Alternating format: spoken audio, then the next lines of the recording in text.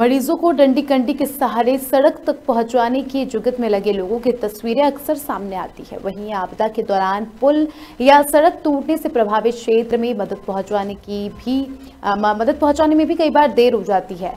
इसके मद्देनजर ITDA human lifting drone तकनीक पर काम कर रहा है। जी हाँ।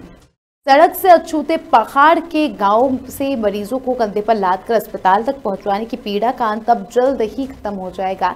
इन गाँव से मरीजों को अब ड्रोन के सहारे एंबुलेंस तक पहुँचाया जा सकेगा।